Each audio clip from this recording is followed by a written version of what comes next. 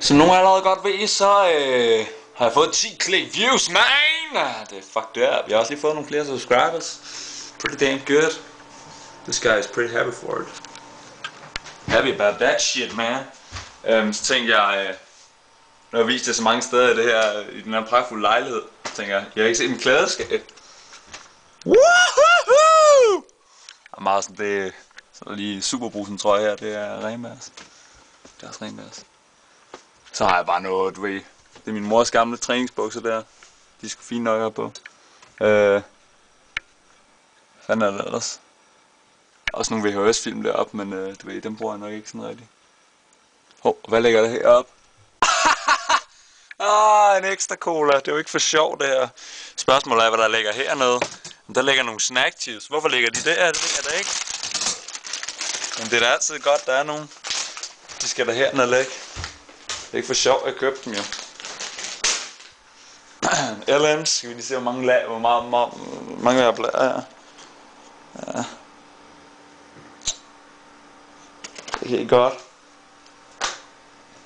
Så det er godt, tanken ikke er så langt væk. Og jeg har nogle restkåb nu. ah, mor Inge, hun er ikke hjemme, så jeg har bare længe hjemme. Tripper rundt. Dyt, dyt, dyt. Vi har fået kød af en planter forresten. Wow. Wow, wow. Wow, den er ved at blive fat i kameraet. Stop af. Det er helt meget.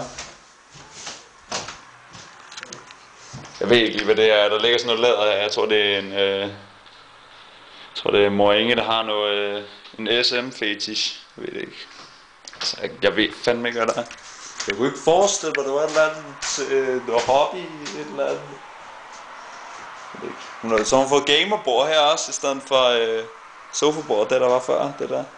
Fucking hjernedødt, mand, som sidder bare og flækker nus hver dag. 24-7, mand. Fucking hjernedød. Nå. Det var ikke så meget, jeg ved ikke. Ah, vi har fået modden tilbage.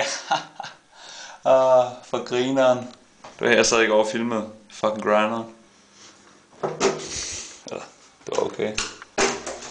Ja. Nå, det var det. Øh, lige en update. Psh efter jeg lavede den der fucked up video i går. Men øh, der kommer noget mere i morgen, og jeg får fikset cam snart og alt det der lort.